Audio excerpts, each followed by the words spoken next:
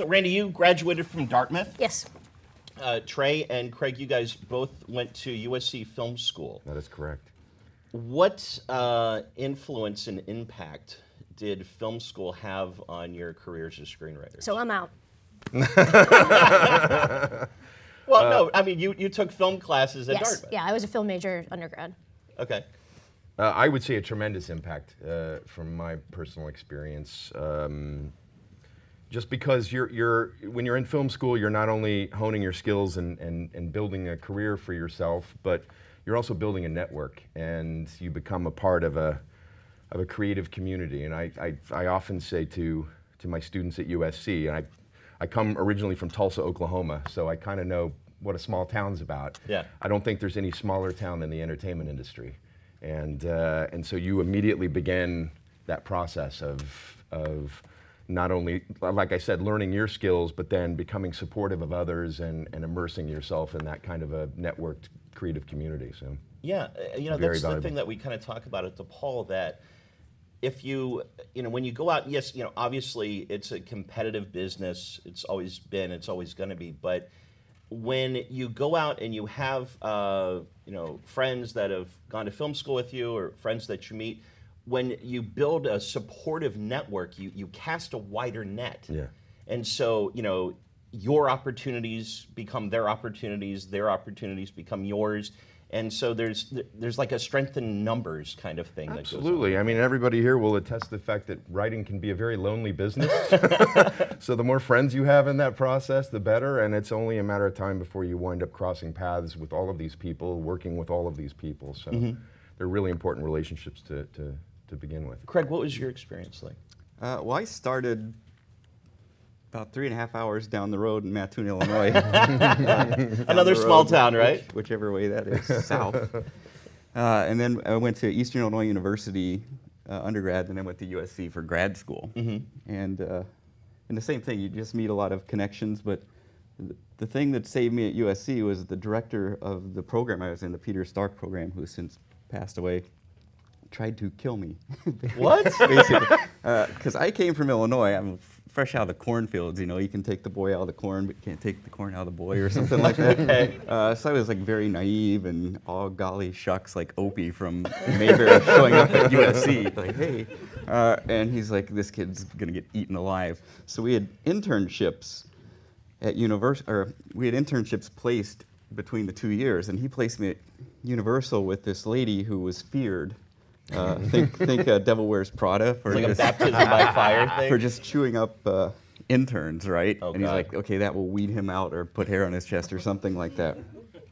So you know, she kind of doesn't pay attention to me very much, and then and by the way, she's amazing person. She was a teamster and a, and a production man for, for James Cameron. So if, Holy cow. if you For James Cameron, if, wow. If you can put up with that, you can put up with anything. Yeah. So, uh, uh, so I was thrown into that, and one time she's like, "Get in my office." I'm like, "Okay." She's like, "Where are you from?" I'm like, "Illinois." She's like, "Where in Illinois?" I'm like, "Small town." She's like, expletives. Like, what small town? I'm like, Mattoon, Illinois. She's like, Mattoon with the original Burger King? Oh my God, my dad was from Danville and was a truck driver, and we used to always stop. There you go. at Oh, and then wow. Took me under her wing and became a mentor and, and sort of set me up with uh, this director, Joe Dante, who moved to Universal a lot. Sure, yeah. They called her, it's like, hey, we're, we're moving to Universal. We need sort of like an office boy uh, slash assi- second assistant for Joe. And she's like, I've got just the person, don't hire anybody until you meet with Craig. So the guy trying to kill me started my career. And when I was with Joe, that's when I sort of learned to write by reading scripts and talking to writers. And here I am. Oh, that's Because he tried to kill yeah, me. Yeah, I mean, Joe Dante is like he's the you know the '80s Spielberg kids Yeah. movie Yeah, king. still one of my all-time favorite directors. Yeah. So, um, Randi, how did you land your first screenwriting gig? Um, my first writing job was in TV. Um, I, I got a lot of people a lot of coffee. um, I was an assistant. I moved out to LA right after I graduated from Dartmouth. Um, and Dartmouth's film program was mostly theory, two screenwriting classes, both of which I took. Um, the greatest part of it for me, though, is just the legitimacy of oh, not only is this an academic discipline, which I learned very quickly, like I, I can I can do that and I can major in that, but then like oh, some people do this for a living. Right. Um, but so right after I graduated, I was from the Boston area, packed up my little Toyota Corolla and drove 3,000 miles west. I literally stuck By my yourself? uh, with a couple friends who were headed to Seattle. I Uh-huh. literally I stuck my this is ridiculous. I stuck my feet in the Atlantic Ocean and then got in my car. And then when I got to LA, I stuck my feet in the Pacific. like there also may have been some singing of Barbra Streisand. but uh, my I worked odd jobs. And the one thing my dad, the advice I had was, make sure you have health insurance. make sure you have health insurance. So I, out of college, I have an Ivy League liberal arts degree. I'm applying for a job at Jamba Juice. Um, I got a job at Borders, which was a bookstore. That's a place where they used to sell books. Um, and just kept applying for stuff. And the good thing is, actually, even coming from a sort of unlikely film school like Dartmouth, I had a number of friends who had moved to LA, and we were such a tight knit group um, because we Dartmouth were friends Yeah, we were just you know these kids from the from the wilderness now suddenly in the big city. And a friend of mine was an assistant for an agent, and I had applied for all these jobs. I knew I wanted to write, and I didn't know the way to get there. And I had a friend who was an assistant for an agent, and she said, We just staffed, meaning got a job for, a staff writing job for um, the writer's assistant on King of the Hill, which means they have an opening. And so she sent my resume over there. And it, they ended up filling that position from within, Yeah. but one of the co executive producers, Jonathan Collier, uh, had an opening on his desk as his assistant, personal assistant, which means you answer his phones, you get him coffee, you do whatever he needs, which in his case was really very little. Um, and at this meet interview with him, he said, um, I really want to hire someone who wants to write. Nobody ever says that to you. Uh, you know, you usually have to pretend in order to It's get an assistant job of- that yeah, that's not what you want to do. I really want to be an agent. Great, you're hired.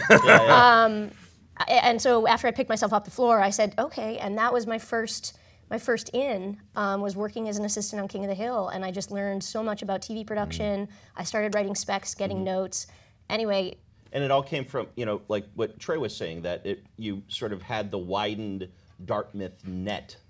The Dartmouth Yeah. Mafia. Yeah, The it ultimately did. It ultimately did. And at that time, I mean, just sending out um, letters upon letters, you know, really, I went through the binder of here's graduates who are now out in LA and just sent them blind query letters essentially saying, will you sit down and meet with me? Yeah. I was much braver then than I am now.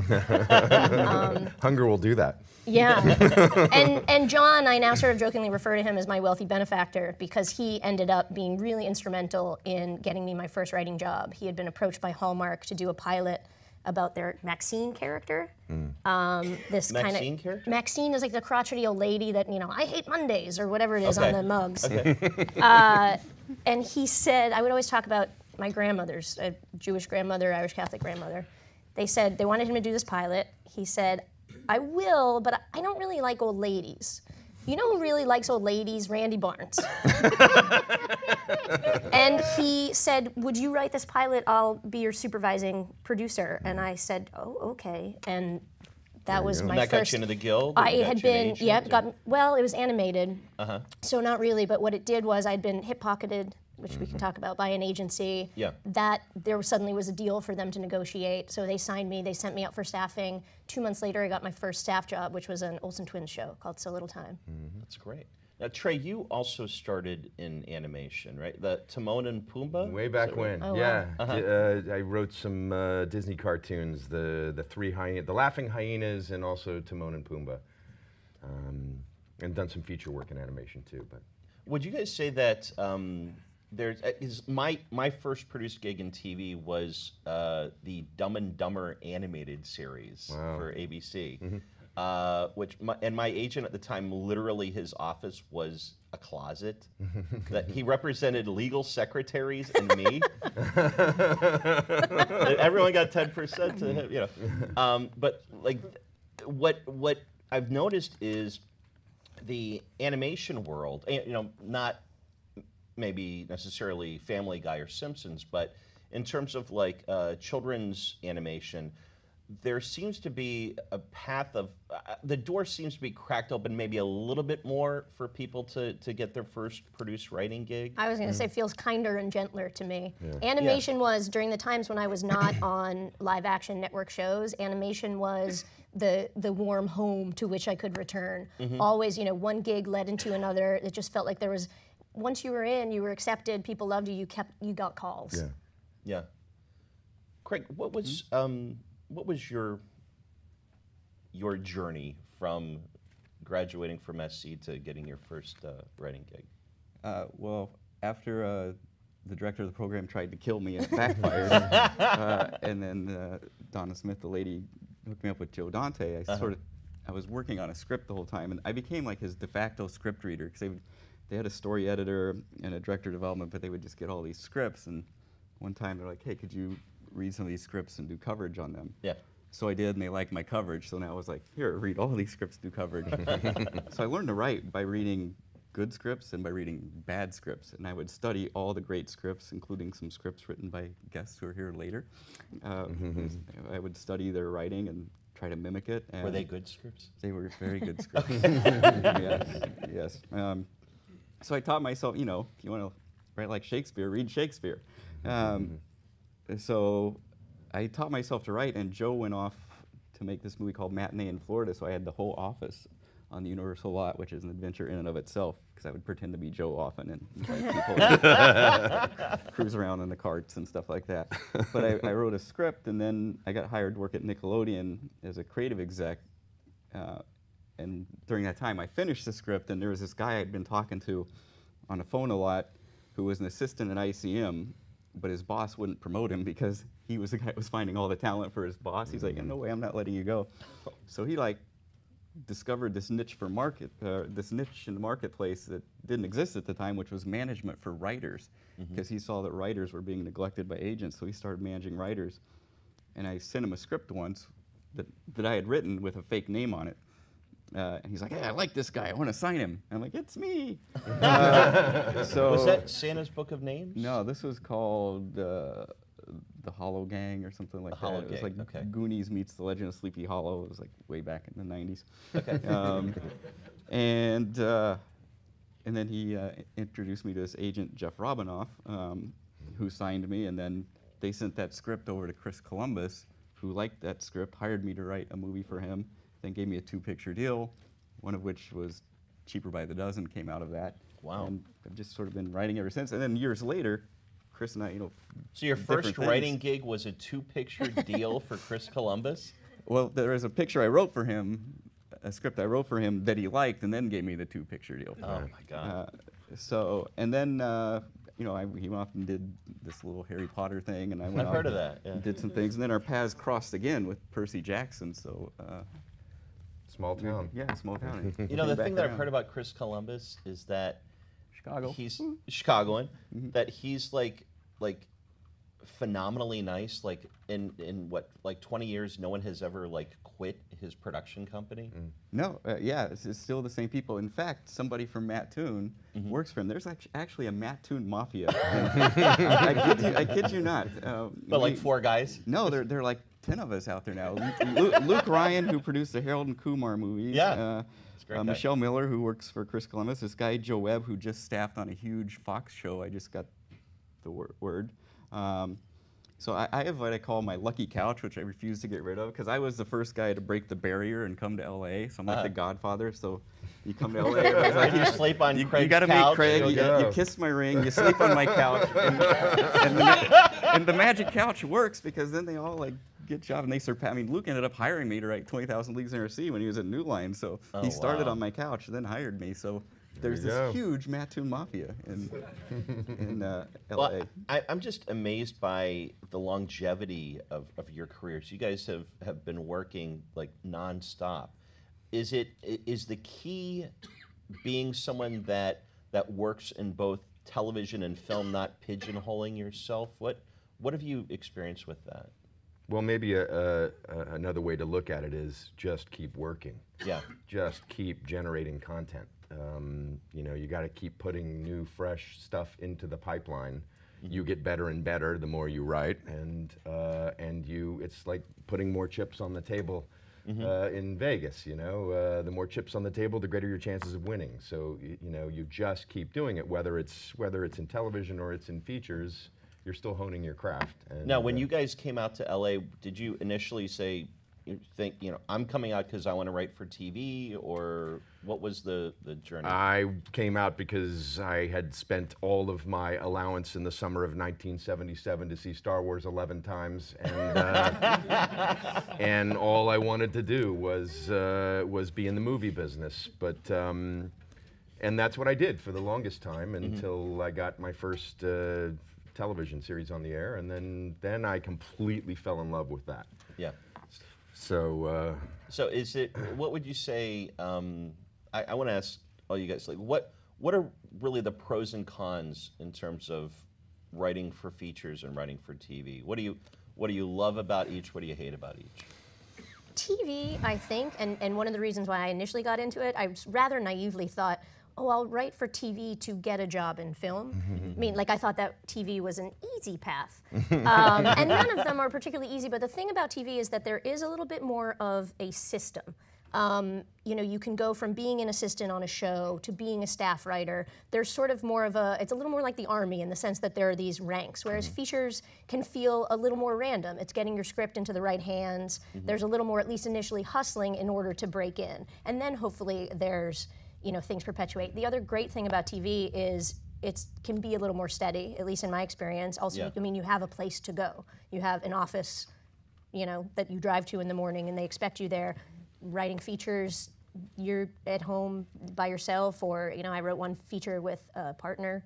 Um, but for the most part, it just feels a little more individual, unless you're developing for TV. Now, do you guys like that that camaraderie of like working in a writer's room? You know, bouncing stuff off other people. I love that. I, I you know, like I said earlier, you know, especially screenwriting can be, uh, while lucrative and, and an amazing creative experience, can be very lonely. And uh, to be in a room with other living, breathing human beings and uh, and bouncing ideas is, is a tremendous experience. It's also just television. Uh, your your level of creative involvement is so much higher. You know, on, on a feature, it may be different if you have an incredibly close working relationship with the director and you're sort of blessed in that way to be a part of production and mm-hmm. all of that. But in general, you're more of a gun for hire, and it's the director's medium. Whereas in television, it's the writer's medium, and Yeah. so you're not just writing and working with other talented writers, but you're involved in every making every key creative decision in the process, from casting to hair to set design to locations. So it, you really get immersed in in all of it, which is incredibly rewarding to me. So, Craig, tell me, um, you know, we've got uh, a lot of students that are going to be graduating soon, uh, going to be coming out to LA, looking to break in, get their first job as, as staff writers. Um, what, what, what have you seen like on, on Agents of Shield, or or uh, the Cape, or you know, other stuff? What uh, what would you say are like some total do's and total don'ts in, in writing, being a staff writer?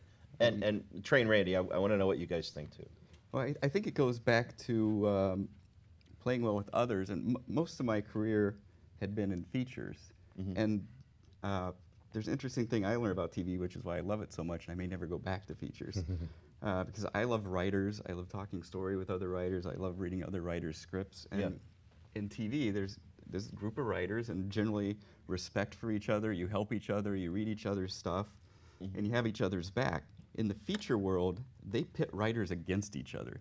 The system is designed to make you aggro against other writers. They throw you off projects and bring people on who will rewrite scripts because they want the credit, and then they all go, it's arbitration, and you're all fighting for Or, credit. or you'll like what I've heard is like they'll have writers that are in tandem writing the same Yes. project They and will- not even they will knowing do that. That happened So- when I Still Know What You Did Last summer. There were two Really? scripts commissioned. Yeah. Yeah, so it becomes very dog eat dog, and it, it pits writers against each other, and we're all we're all going through the same stuff together. Yeah. And, and it's just sad that mentality in the features, and and it's so different in TV. It's Yeah. like everybody hangs out together, and TV is a, it's a writer's back. medium and it's a writer's community, really. Yeah, hundred And percent. And you learn so much from other writers. You know, Yeah. it's good to be around other writers. So Randi, what what is like the biggest do or don't in being a staff writer? As a staff getting your first job on a TV show. Um, I I think to know that you are there to learn. Um, it, it, it's a it's a tricky line because on the one hand, you know, you're there and you're you're new and you want to prove yourself, and so you're probably gonna err. I would err on the side of I guess I I got Yeah.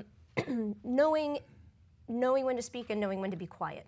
Honestly, I think that actually the most important thing you can learn, and you wouldn't think that that would be a part of a job like that, is listening, um, which I think is i- important. you don't have to feel like you're always singing for your supper. That it's a learning. You're there to learn, and you're there. You know, there are people there with a lot more experience, and if you remember that and really listen, and uh, I'm an improviser, and one of the sort of tenets of improvisation is yes and. Um, whatever people give you, you say yes and this thing. We're on the moon. Yes, and isn't it nice? Or better than that. Um, but I think honestly that that's a great rule for any writer in the writer's room to yes and other people. Also, one of the greatest pieces of advice I ever got was when I was a staff writer on a show called Lost at Home, short run on ABC. Um, one of the more senior writers said, "Don't ever point out a problem unless you have a solution." Yeah. and that create it does it, it creates such a different vibe in a room when instead of saying yeah this part doesn't really work you say what if we did this instead? And it doesn't even have to be a good idea but it at least gets people talking. And it solution, feels so different than if you said yeah i don't like that. And i find that even when i give notes to friends. Um, it's a huge thing that, that improvisation has enforced for me but is just saying what about this instead? And Yeah. then it becomes a dialogue rather than a almost a put down. Okay. Well, well, Trey, you know, you're you're the showrunner of the Messengers.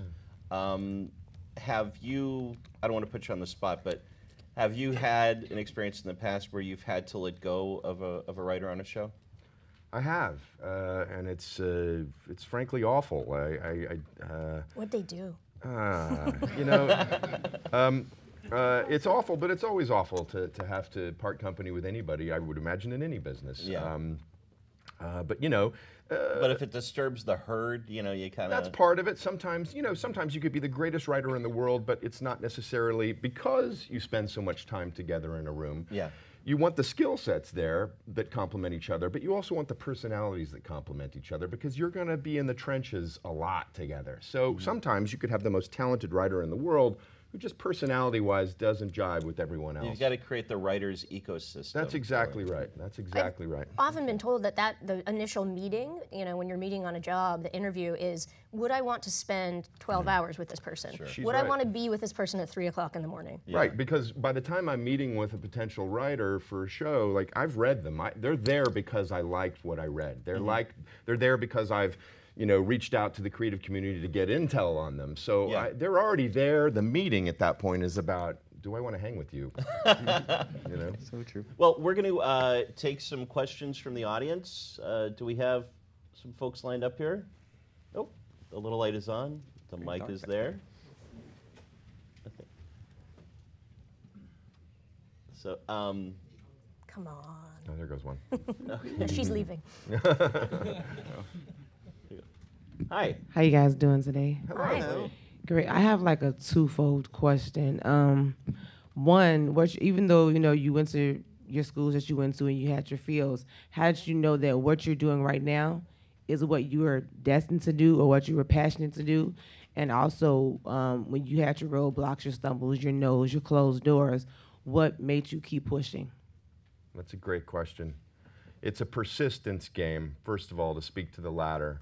Um, you got to steel yourself against that rejection because it's going to come. You know, it's a very, very subjective art form in the same way that you all can go to the great Chicago Institute of Art and walk from painting to painting and either shake your head and ignore one or stop and admire another. It's very subjective in the same way on the page. And so some people are going to get your work and other people aren't. It's just that simple. So you keep writing it, you keep putting it out there, and sooner or later you're going to connect with somebody who's going to understand what it is you're trying to say and be equally passionate about it.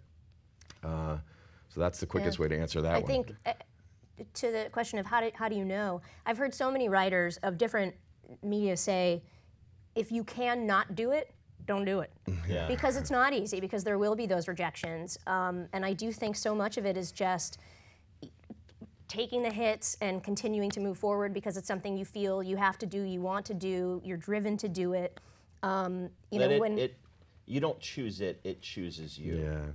Yeah, it's not necessary. It's not an easy road. Um, there are high highs and low lows, um, and I think, but it tends to. It seems to me that people who stick with it tend to tend to make it through and make it out. You know, there's. There's always there's the people that I call um, they take the midnight train to Georgia, which is people that I know who've moved out to LA and eventually say, ah, it didn't work out. Um, if you want it to work out, you'll make it work out. Uh, for people that have questions, could you please line up uh, behind the mic? Yeah, there's the old, I don't know who was that said it, Mae West, I think. Uh, it took me five years to become an overnight success. Yeah. Uh, it's it's definitely applicable to Yeah. uh, You know, an agent once said to me, "It's uh, it's not a sprint; it's a marathon." Yeah, it's 100%. Do you feel that way, Craig? Yeah, and yeah, and I think you just have to. So many people go out there like, oh, all these other clods are making millions writing scripts. I'm gonna do that. For me, it's you just have to love writing and storytelling. And if nobody ever hires me again, I'll write a novel. Uh, and and Yeah. I had a film professor who said, a film production pres- professor who said, you have to love the process. Because he says this is a long process and you never know what's going to happen at the end of it. If you don't love the process, don't do it Yeah. for that end thing. You have to, If you could find a mutual love, find it. yeah. So, yeah. Uh, hi, next person. Yeah, hey, uh, yeah, thanks for being here. Uh, course. It's awesome. Uh, quick question. I- Those are those low lows, maybe when you're like having a block, right? And you just you don't know how you're going to get out of it, and eventually you do. What what? How do you rejuvenate yourself? What do you each do? If you mind sharing with us what you do In-N-Out to get out of those situations. Drink In and Out Burger's big, yeah. Scotch. Scotch, Scotch. is important too. Right.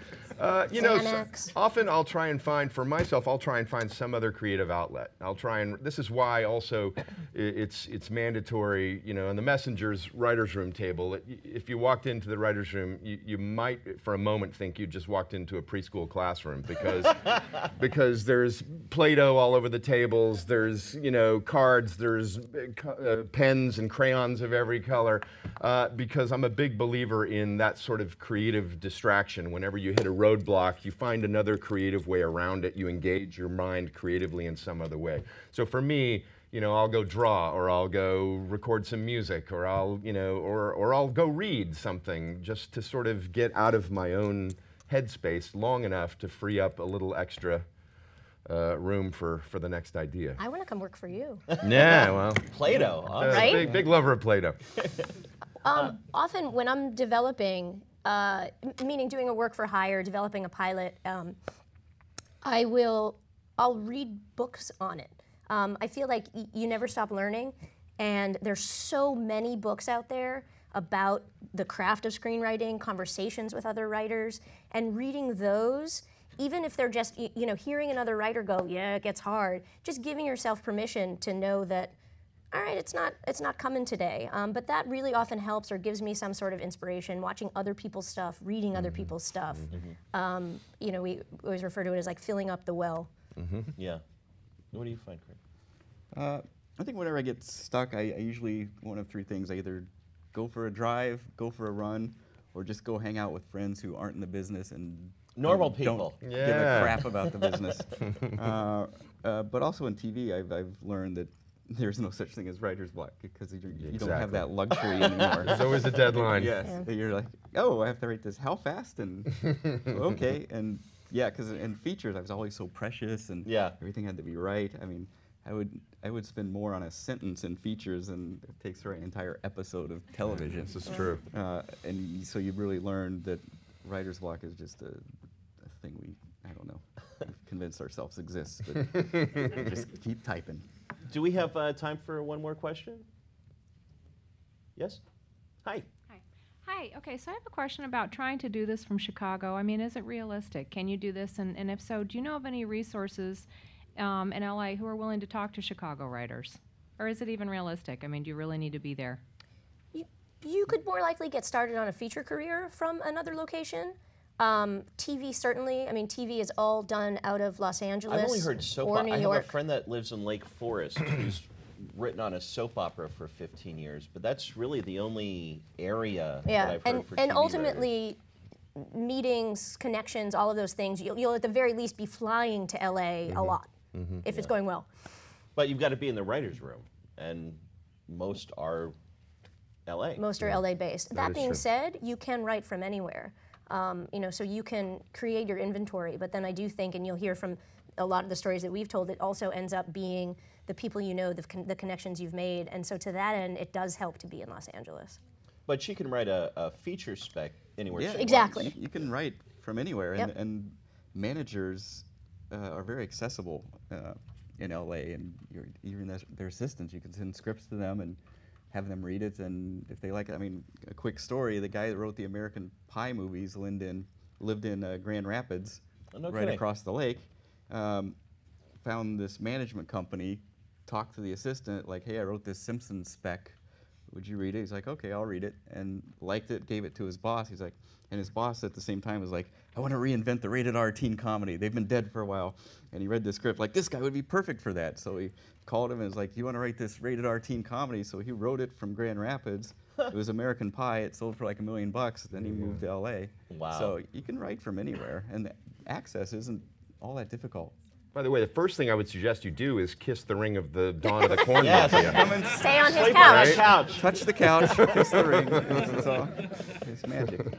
Do you, do you have any managers in particular that are willing to work with new writers? One or two that you even know that Uh, well, you know, you could check with the Writers Guild of America. Mm-hmm. There's a directory. Uh, uh, deadline.com is a great source that has information. I'm Um, going to also suggest something I do for writers trying to enter the business, and I'd love to hear your opinion on it. I recommend there's a few contests that I the would recommend. Blacklist. Is, is a Absolutely. great Blacklist, certainly place. Scriptapalooza. The winners of those, and usually often like the quarterfinalists or the semifinalists, um, get read by representation. And the Nicholl Fellowship. yeah, Yeah, yeah, that's a yeah. Yeah, tremendous it's- one. Sundance. Yep. It's way easier now to become a writer from somewhere else. We had to be in LA pretty much. Yeah, But- yeah, that's true. Yeah. Thank you. Uh, we've got time for two more questions. Uh, next person, please. Hi. Hi. Um, so you're talking a lot about uh, connections and like that being really important. Let's say you move to LA and you know nobody. What's like the first Well, you've got a guy from from Oklahoma and a guy from I'm from Mattoon. They didn't too. know anybody. That's right. I moved uh, uh, to Los Angeles uh, with all of my worldly belongings in the back of a pickup truck, and I knew not one soul. Uh, but you know, all it's going to take for you is walking down to the corner Starbucks, and you're going to see a row of laptops of people who have also just arrived, and you engage them in conversation. And by the time you leave, you're going to have just plugged into your first creative community. Um, everyone out there has got their own version of the same story and are all trying to basically accomplish the same thing. So it won't take you long. Yeah. It, it just happens organically. You'd be surprised. okay, cool. Thanks. Hi. Hello. Hi. Uh, question for Craig. Could I get the address of where the couch is located? um, no, actually, seriously. You got to go through Luke Cage first. Um, it is uh, It's guarded by the uh, by Thor and the Avengers right now. Craig, you'd brought up the topic of reading scripts in order to improve your writing, but Mm-hmm. the question, I guess, is actually for all three of you. So I'm wondering if you could elaborate a little bit more about when you're reading scripts, what you do to basically reverse engineer what to do, what not to do as a writer, and learn from them. And is it different for reading television scripts because those are more of a, even if there might be one name associated with them, they're more of a product of a collaborative writer's room environment as opposed to a feature, which is one or you know maybe two people usually. Yeah, I, I, th- I think there's no difference. It's, it's just good writing. Like, if, if you're reading a story and you're really engaged, you just kind of like step above yourself and like, okay, why am I engaged? And oh, this is interesting. They introduce this character. I don't know everything about him from like one line of dialogue. Wow, how did they do that? Um, sce- scenes. There's just so much, and but you also conversely learn from like reading really bad scripts, which I read a lot when I was working for Joe. It was like, uh-huh. I'm bored out of my mind. Why am I bored out of mind? Oh, it's because they're doing this, this, this, and this. And mm-hmm. just the more you read, you just pick up little tricks like, wow, okay, this thing where I had this three-page scene, I could actually do in a line of dialog mm-hmm. Wow, that's very economical. Uh, it's boy, the list is just endless. Yeah. when you were doing coverage, did you have like maybe just sort of a tick box list, even an unofficial one in your head that you kind of knew things to look for or not, you know, to Yeah, yeah. I mean, there actually is a list of things on when you do coverage. You have to check coverage- dialogue, yeah, good, bad, excellent those. story, good, Yeah. bad, excellent. You know, all that stuff. Um, yeah, yeah, it's, it's it's all that stuff, and you know, their scripts are. When I started reading scripts, I had them order them from this place called Script City, and then they would Yeah. ship Yeah. them to Mattoon, Illinois, and I get my box of scripts. Like, oh, a Platoon. It was, I think Platoon and Rocky were the first two I bought. And now simplyscripts.com is a, a free Yeah, now you can go There's Find a on lot the website and just. Yeah. And I, I still often do this. Like if I'm about to start a movie, I'm like, think of movies that it's similar to genre, and I'll I'll find the scripts and, and read those and Yeah. see like how they were telling that kind of a story or developing that kind of a character. So um, we we need to wrap up, but I just want to ask if you guys could um, give us one final quick piece of advice for people that are about to to trek west. What what would you say? Wow. one, one piece of advice. One piece of advice. Okay, well, I sort of spoke to this already in terms of it being a persistence game. You know, you gotta just keep going and keep going and keep going, and you gotta convince yourself that the minute you give up is the minute somebody's gonna step over your dead carcass on their way up the red carpet. um, uh, but um, uh, but I, w- I will also tell you this: uh, it is it is well worth all of the effort. It is the greatest job in the world. We get to make things up for a living, and that is a great privilege. And I, you know, there are tougher days than others to be to be certain, uh, and there are years of rejection that lead up to it. Um, but I can't wait to go to work every day because I get to play in that sandbox, which is truly incredible. So. Yeah. Jump in, the water's warm. yeah, yeah. Randi?